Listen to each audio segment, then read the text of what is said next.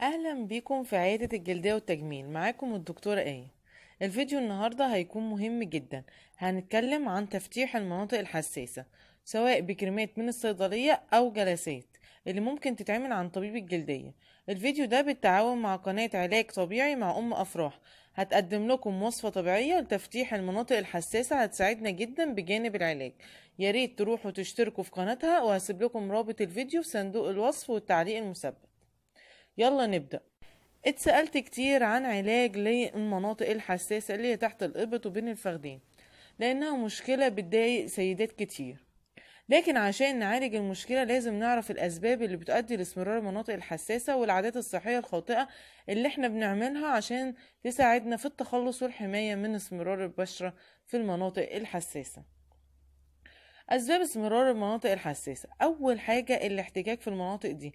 ده السبب الأول لأن الاحتكاك ده بيعمل التهاب وخاصة في الصيف والالتهاب دوت بيسيب اسمرار مكانه. استعمال مزيلات عرق غير طبية أو استخدام العطور بشكل مباشر على الجلد في المناطق دي. ارتداء ملابس داخلية غير قطنية لأن طبعا الألياف الصناعية بتزود الحساسية الجلد وبت... وطبعا بيزود التهابه. التعرق والإفرازات الفطرية وعدم الاهتمام بالنظافة الشخصية بيزود الاسمرار حبوب منع الحمل بتزود صبغ الخلايا فبتزود السمار. طرق إزالة الشعر الخاطئة اللي بتؤدي لاسمرار الجلد في المنطقة ديت زي الشفرات لأنها بتؤدي لتهيج الجلد والتهابه وظهور حبوب اللي أحيانا بتؤدي لتبقع البشرة واسمرارها استعمال كريمات إزالة الشعر واللي بتتكون من مواد كيميائية بتضر البشرة. زيادة الوزن بيزود الاحتكاك الإفراط في الاستعمال الليفة في تنظيف المنطقة ديت إهمال علاج الالتهابات الجلدية. وأخيرا استعمال وصفات وتركيبات غلط بيزود المشكلة وبيأخر في العلاج وبيزود الاسمرار هنتكلم بقى عن العلاج. العلاج بيشمل الوقاية من الاسمرار الجلد وتاني نقطة تفتيح المناطق الحساسة الداكنة. هنتكلم عن الكريمات والجلسات اللي ممكن تتعمل في العيادة.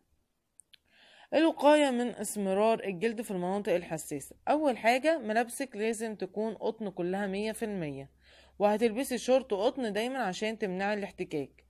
وتغيري الملابس الداخلية يوميا مرة أو مرتين وهتحافظي على جفاف المناطق ديت بفوط قطن وتحافظي على استعمال المطهرات عشان تمنعي الفطريات. بلاش مكن براون أو شفرات إزالة الشعر أو كريمات خليكي في ال sweet وشيلي الشعر أول بأول وما تكسليش لأن لما بيطول إزالته بتجيب التهابات وبالتالي سمار. هتخسي عشان الوزن بيزود الاحتكاك ومزيل العرق يبقى نوع نظيف زي نيفيا أو ريكسونا وبلاش الحاجات الغريبة مجهولة المصدر. وبلاش البلية خليكي في السبراي وكمية بسيطة مش بالكترة هي وترشي من بعيد ما تقربيش للجلد قوي. وبلاش تدعكي بالليفة. المناطق دي أثناء الاستحمام لأنه بيزود الالتهاب. طرق علاج إسمرار المناطق الحساسة. قبل استخدام أي وصفة أو تركيبة أو مجموعة كريمات لتفتيح المناطق الحساسة لازم نفهم النقطتين دول. أول حاجة اللي حضرتك شايفاه غمقان ممكن يكون مرض جلدي من أعراض تغير لون الجلد للأغمق. مش تصبغ جلدي محتاج كريم تفتيح. فلو استخدمتي عليه كريم تفتيح حمياني كده باستشارة على النت وارد جدا إن المشكلة تبوظ أكتر فالأفضل استشارة طبيب الجلدية تاني نقطة لو حصل برضو حد نصحك بتركيبة على جروبات الفيسبوك حتى لو حلفتلك إنها أفضل تركيبة في العالم افتحي النشرة الداخلية. لو لقيتي الكريم ده بيحتوي على كورتيزون ممنوع تماما تستخدميه لازم ترجعي لطبيبة تشوف المنطقة ديت على الطبيعة. وتشوف هتستخدم وتحدد لك نوع كورتيزون المسموح مدته قد إيه على الجلد ده لو احتجتي. لأن في ناس كتير بيحصل عندهم ضمور بالجلد في المناطق الحساسة دي واسمرار شديد جدا وعلامات تمدد رهيبة بسبب النقطتين اللي فوق وغالبا ملهمش علاج ولو قررتي تحسني من شكلهم هتتكلفي مية ضعف تمن التركيبة ده غير حالتك النفسية من تشوه المناطق ديت. وهقولك كمان عن أمثلة من الكورتيزونات أو كريمات مركبة بتحتوي على كورتيزون المنتشرة والناس مش عارفة زي الكيناكومب والبيتا ديرم والفيوسيكورت والكوادري ديرم.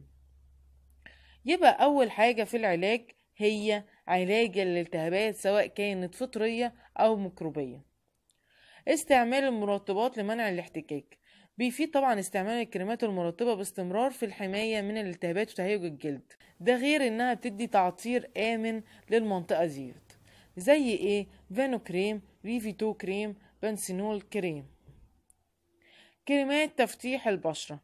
لازم نختار الأنواع الآمنة واللي ما بتحتويش على مواد كيميائية مسرطنة أو مواد مبيضة للبشرة زي الهيدروكينون ويفضل استعمال الكريمات ديت بعد استشارة الطبيب.